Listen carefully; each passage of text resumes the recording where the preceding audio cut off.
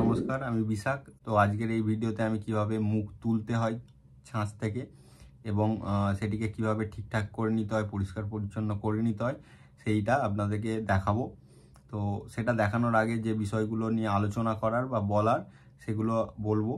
তো প্রথম যে বিষয়টি বলার, সেটা হচ্ছে এই মুখ তোলার প্রসেসটাতে দুই ধরনের মাটি লাগে। তো প্রথম যে মাটিটা লাগে, সেটা হচ্ছে মুখের সামনের দিকটা তোলার। বা মেন যে মাটিটা, সেটা হলো পলিমাটি বা বেলে মাটি, সেটা সেভেন্টি ফাইভ পার্সেন্ট থাকবে এবং যে এঁটেল মাটি, সেটা টোয়েন্টি ফাইভ পার্সেন্ট থাকবে। এটার মানে হলো যে মাটিটাতে এঁটেল মাটিরও ভাগ থাকবে এবং পলি মাটি বা বেলে মাটিরও ভাগ থাকবে। সেভেন্টি ফাইভ পার্সেন্ট বলার মানেটা হলো এটাই যে এই মাটিতে কিন্তু ওই পলি মাটি বা বেলে মাটির ভাগটা বেশি থাকবে। বিভিন্ন জায়গার মাটি বিভিন্ন রকমের হয় কোনো জায়গার এঁটেল মাটি ধরুন বেশি আঠালো ধরনের। তো সেক্ষেত্রে আপনাকে কিন্তু ওই টোয়েন্টি ফাইভ পার্সেন্টটাকেই কমিয়ে একটু ব্যবহার করতে হবে। আবার কোনো জায়গার মাটিতে দেখবেন যে পলিতে বালির ভাগ বেশি। তো তাতে আপনাকে কিন্তু এঁটেল মাটির পরিমাণ একটু বাড়াতে হবে। তো এই ধরনের বিষয়গুলো খেয়াল করে আপনাকে মাটিটা তৈরি করতে হবে। অর্থাৎ একটা জিনিসই মাথায় রাখার, যে তাতে যেন পলি মাটির ভাগটা তুলনামূলক বেশি হয় আঠালো ভাবটা তুলনামূলক কম হয়। যদি খুব বেশি আঠালো হয়ে যায়, তাতে কিছু কিছু প্রবলেম দেখা যায়। যেমন হলো মুখ ছোট হয়ে যাওয়া। যে আপনি যতটা মুখ তুলছেন, এঁটেল মাটি সবসময় মোড়ে ছোট হয়। তো সেই কারণে আপনি যদি বেশি করে এঁটেল মাটি মিশিয়ে থাকেন, তাহলে কিন্তু মুখটা শুকিয়ে ছোট হয়ে যেতে পারে। আর একটি বিষয়, সেটা হচ্ছে যদি এঁটেল মাটির ভাগ বেশি থাকে, তাহলে কিন্তু শুকিয়ে ফাটার চান্সেস অনেক বেশি থাকে। কিছু কিছু জায়গাতে ক্র্যাক বা ফেটে যাবে। সেই কারণে পলির বা বেলে মাটির ভাগ কিন্তু আপনাকে অবশ্যই বেশি রাখতে হবে। আর সেকেন্ড যে মাটিটা লাগে, সেটা হচ্ছে পিছনের দিকটা করার জন্য, সেটা হচ্ছে তুষ মাটি বা আখড়া মাটি, এইসব মিশিয়ে আপনাকে কিন্তু মাটিটা তৈরি করতে হবে। এই মাটিতেও কিন্তু আপনাদেরকে মনে রাখতে হবে যে তাতে যেন এঁটেল মাটির পরিমাণ কম থাকে।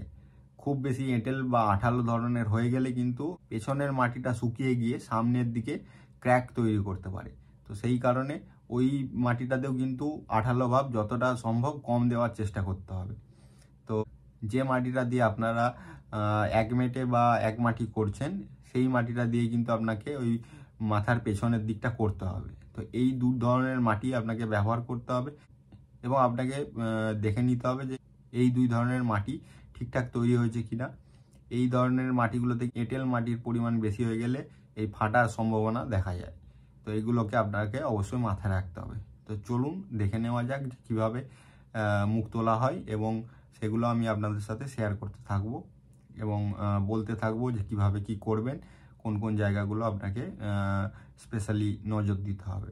তবে এই প্রসেসটা দেখার পরে আমি আরও কিছু সমস্যার কথা আপনাদের সাথে শেয়ার করব এবং যেগুলোর সলিউশনও আমি আপনাদেরকে বলব। তো মুখ তৈরির এই প্রসেসটা শেষ হওয়ার পরে আপনারা ভিডিওটা পুরোটা দেখবেন। তাহলে এই মুখ তোলার যে গোটা বিষয়টা সম্পর্কে আপনি একটা কমপ্লিট নলেজ পাবেন। তো চলুন দেখে নেওয়া যাক কীভাবে মুখটা তুলতে হয় এবং সেটাকে ঠিক করতে হয়। তো প্রথমে আমাদেরকে মুখের সামনের দিকটা তুলতে হবে।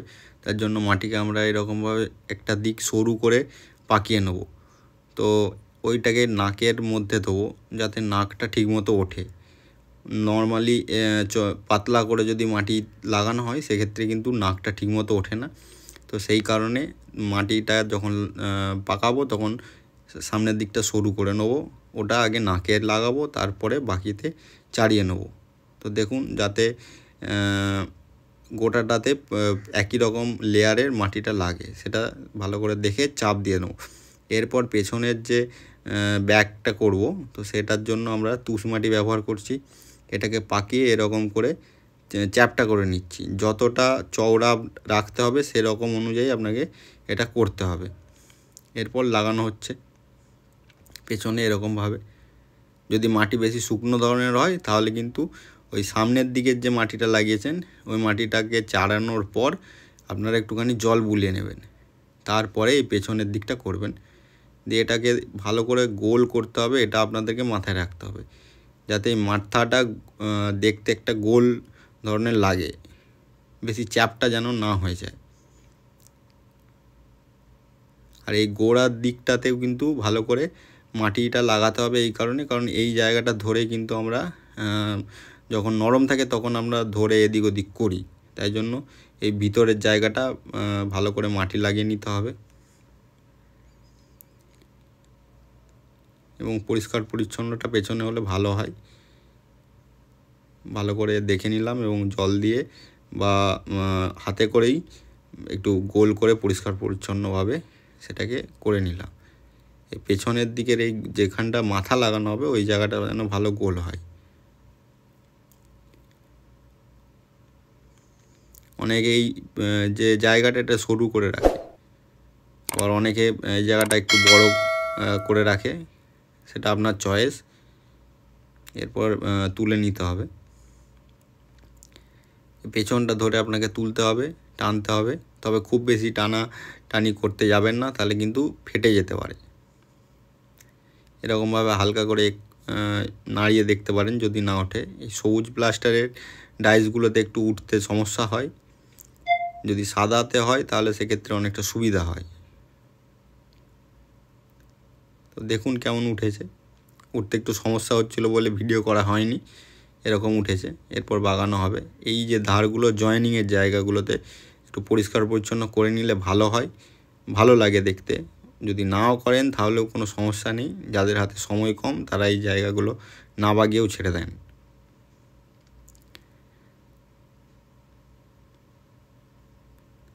ভালো করে ঘষে এই জায়গাগুলোর মাটিটাকে মানে মিশিয়ে নিতে হবে। আর উপরের দিকটাকেও। যদি মুখ ছোট ছোট মনে হয়, তাহলে এই যে চুলের জায়গাটা, এই চুলের জায়গাটাকে কিন্তু আর একটু বাড়িয়ে মানে কপালটাকে বড় করে নেবেন। তাহলে মুখের সাইজটা ঠিকঠাক হয়ে যাবে। যদি ছোট মনে হয় তো।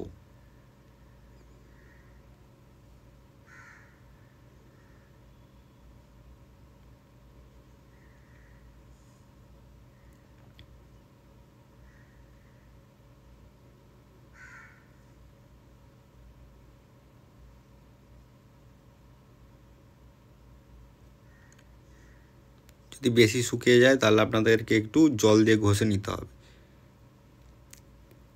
যেসব জায়গাগুলো ক্র্যাক আছে, সেসব জায়গাগুলোকে জল দিয়ে ঘষে নিলেন।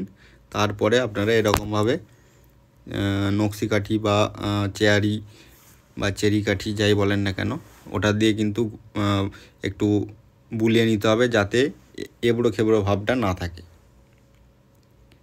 আর এই সব যেসব যা, ভাঁজগুলো রয়েছে, সেই ভাঁজগুলোকে একবার এটা দিয়ে চালিয়ে ঠিক করে নিতে হবে।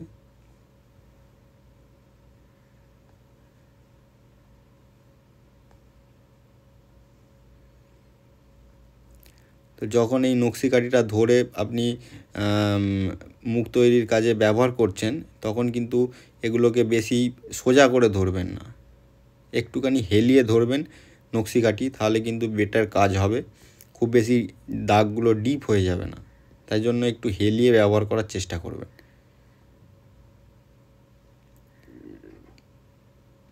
বেশিরভাগ সময়ই নাকগুলো ভালো করে ওঠে না, তো নাকগুলোকে চওড়া করে নিতে হবে।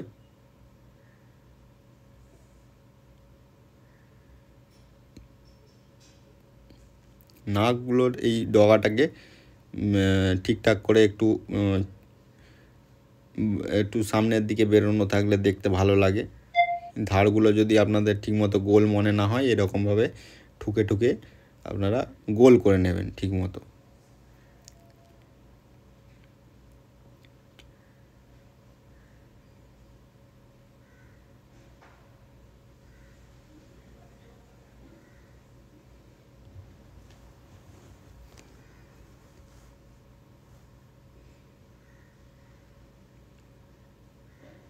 যদি ডাইস ভালো থাকে, তাহলে কিন্তু মুখ ভালো ওঠে এবং মুখ বাগাতে কিন্তু বেশি কষ্ট হয় না। এরপর আমরা নরম তুলি দিয়ে মানে লোমের তুলি বা নরম যেসব তুলিগুলো হয়, ওগুলো দিয়ে কিন্তু ব্রাশ ঘষবো। এটা একটা খুব ইম্পর্টেন্ট জায়গা। ব্রাশ না ঘষে কিন্তু মুখটার এই বাগানোর এই যে প্রসেসটা এটা কমপ্লিট করতে পারবেন না। তাই জন্য আপনাকে এই ব্রাশ ইউজ করতেই হবে। তাই জন্য আপনারা নরম ব্রাশ ইউজ করবেন। এই দাগ বরাবর আপনাকে কিন্তু ব্রাশটা চালাতে হবে। যেদিক সেদিকে ব্রাশ ঘষলে কিন্তু হবে না। যেরকম ঢাল সেই রকমভাবে আপনাকে ব্রাশ চালাতে হবে। দেখতে পাচ্ছেন নাকটার যে যে দাগটা এরকমভাবে চালাচ্ছি। আমি সোজা যেদিকে খুশি চালাচ্ছি না। যেরকম দাগ বা যেরকম ঢাল সেই রকম অনুযায়ী আপনাকে ব্রাশটা চালিয়ে, বারবার চালিয়ে, একবার না, বারবার চালিয়ে আপনাকে পরিষ্কার পরিচ্ছন্ন দেখতে লাগছে কি না সেটা শিওর হয়ে নিতে হবে। একাধিকবার কখনো কখনো ঘষতে হতে পারে। তো সেরকমভাবে করবেন যেসব জায়গাগুলো ফোলা লাগবে, আপনি হাত দিয়েও ঘষে নিতে পারেন। কিন্তু ব্রাশটা ঘষে শেষকালে আপনি মেকআপ দেবেন আর কি।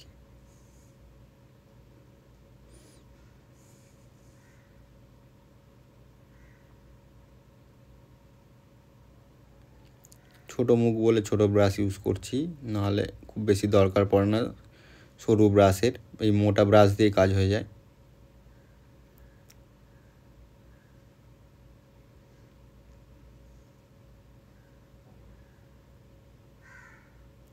নাকটা খুব ইম্পর্টেন্ট জায়গা, নাক যদি সুন্দর না হয় দেখতে কিন্তু খুব একটা ভালো লাগবে না, তাই জন্য নাকটাও আপনারা গুরুত্বের সহ, তাই নাকটাও আপনারা গুরুত্ব দিয়ে করবেন।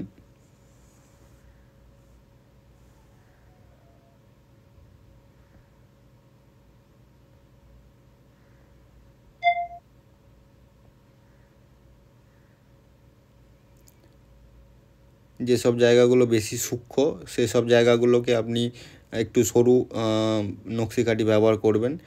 আর যেসব জায়গাগুলো বড় সেই সব জায়গাগুলোতে বড় এরকমভাবে কাজটা করতে হবে।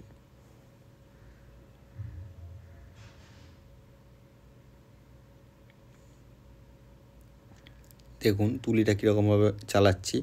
যেরকম দাগ সেই রকমভাবে যেদিকে সেদিকে চালাবেন না, তাতে কিন্তু খারাপ হয়ে যাবে। নাকের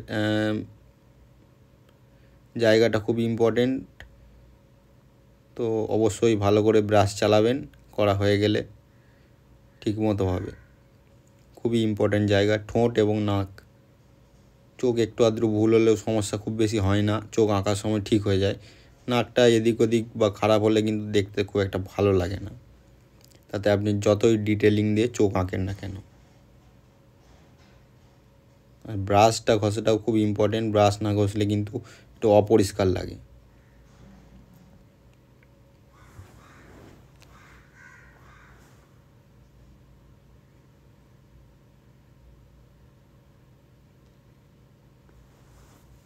তো দেখুন এরকম হয়েছে। তো এতক্ষণ দেখলেন যে কীভাবে ছাঁচ থেকে মুখ তুলতে হয় এবং সেটিকে কীভাবে পরিষ্কার পরিচ্ছন্ন করে নিতে হয়। কিন্তু এরপরেও কিছু কিছু সমস্যায় আপনারা পড়তে পারেন, সেগুলো নিয়েও আলোচনা করব। যেমন ধরুন, কখনো কখনো এমন হয় যে আপনি যে প্রতিমাটা তৈরি করেছেন, সেটির তুলনায় মুখটা কিছুটা ছোট লাগছে। তো সেক্ষেত্রে আপনি কি করবেন? তো সেক্ষেত্রে যেসব কাজগুলো করা রয়েছে, যে চুলের পোর্শনটা রয়েছে, তো ওই চুলের পোর্শনটাকে কিন্তু আপনাকে কেটে একটু ছোট করে নিতে হবে। এটা একটা অপশান দু নম্বর অপশান এই ধার থেকে মাথার উপর পর্যন্ত একটু বেশি করে ফোলানো। এবং তিন নম্বর অপশান পেছন থেকে গালের দিকটাকে একটু ফোলানো। তো এই কাজটা কিন্তু যদি আপনি কাঁচা কাঁচাই করে থাকেন মানে মাটিটা কাঁচা থাকাকালীন করে থাকেন, তাহলে কিন্তু ওই মুখ তৈরির যে মাটিটা আপনি তৈরি করেছেন, ওটা দিয়েই করে নিতে পারেন। আদারওয়াইজ এই সব কাজগুলো আপনাকে অবশ্যই পলি মাটি বা বেলে মাটি দিয়ে করতে হবে। তো এই ধরনের কাজগুলো করলে আমার মনে হয় যে ওই ধরনের যে মুখ ছোট লাগার প্রবলেমটা সলভ হয়ে যাবে। আর একটা যে প্রবলেম সেটা হচ্ছে মুখ, এই যে বাড়ালেন, বাড়ানোর পর কিন্তু কখনো কখনো ক্র্যাক দেখা যায়। তো সেই ক্র্যাকগুলোকে আপনি পলি মাটি দিয়ে বা বেলে মাটি দিয়ে বাগাবেন। আপনি ওই মুখের মাটি দিয়ে আর বাগাতে যাবেন না। যদি শুকিয়ে যায়, যদি কাঁচা থাকে, তাহলে সেক্ষেত্রে আপনি ওই মুখ তৈরির যে মাটিটা দিয়ে মুখটা তুলেছেন, সেই মাটি দিয়েই বাগাবেন। আর যদি শুকিয়ে যায়, তাহলে অবশ্যই আপনাকে পলি মাটি দিয়ে বাগাতে হবে। যদি আপনি শুকনো মুখে ওই আবার আগের যে মুখ তৈরির মাটিটা দিয়ে একটু ঠিকঠাক করে থাকেন, সেক্ষেত্রে কিন্তু অনেক ছোটো ছোটো ক্র্যাক দেখা যায়। আমরাও এই সমস্যার মধ্যে পড়েছি অনেকবার। তাই জন্য আবারও বলছি, যদি শুকনো মুখ থাকে, তাহলে আপনারা পলি দিয়ে বাগাবেন। যদি কাঁচা থাকে, তাহলে আপনারা ওই মুখ তৈরি মাটিতে বাগাবেন। উইথ আগে জল দিয়ে ভিজিয়ে নেবেন, তারপরে আপনারা ওই মাটি লাগাবেন। তাহলে এই সমস্যা থেকে আপনারা সমাধান পেতে পারেন। আর একটা বিষয়, যদি ওই সবের পরেও একটু ছোট লাগে, তাহলে আপনাকে কানটাকে কিন্তু একটু বড় করে লাগাতে হবে। আমি বলছি না যে মুখ খুব বেশি ছোট লাগার কথা। এখানে আমি একটু আধটু ছোট লাগার কথা বলছি। খুব বেশি ছোট লাগলে কিন্তু সেখানে নতুন মুখ লাগানোই ভালো। আর একটি বিষয় বলার, সেটা হচ্ছে যদি এঁটেলের পরিমাণ বেশি হয়, সেক্ষেত্রে মুখের সাইজ ছোট হয় এবং যে ফাট দেখা যায়, যেটা আমি ভিডিও শুরুতে বললাম তো সেটা থেকে সমাধান পাওয়ার জন্য যেসব ফাটগুলো দেখা যাবে, সেই ফাটগুলোকে কিন্তু আপনারা একটু বড় করে দেবেন। যে ছাঁচ কাঠি বা নকশি কাঠি দিয়ে আপনারা ওই ফাটগুলোকে একটুখানি বড় করবেন। খুব ছোট ফাট রাখবেন না। ওই ফাটগুলো বরাবর ওই কাঠি দিয়ে ফাটগুলোকে বাড়িয়ে দেবেন। বাড়িয়ে তারপর সেই জায়গাতে জল দেবেন। জল দিয়ে ভালো করে ভিজিয়ে তারপরে মাটি দিয়ে ওই সব জায়গাগুলো কারেকশান করবেন বা ঠিক করবেন। তো এই ভিডিওতে এতটাই শেয়ার করার ছিল। তো যদি ভিডিওটি ভালো লেগে থাকে, তাহলে ভিডিওটিকে অবশ্যই লাইক করবেন। আর যারা নতুন, তারা চ্যানেলটিকে অবশ্যই সাবস্ক্রাইব করবেন। পাশে থাকা বেল আইকনটিকেও ক্লিক করে রাখবেন, যাতে ভিডিও নোটিফিকেশান আপনারা টাইম মতো পেয়ে যান। এবং কেউ যদি এই বিষয়ে ইন্টারেস্টেড হয়ে থাকেন, তাহলে তাদের সাথে অবশ্যই ভিডিওটি শেয়ার করবেন। নমস্কার।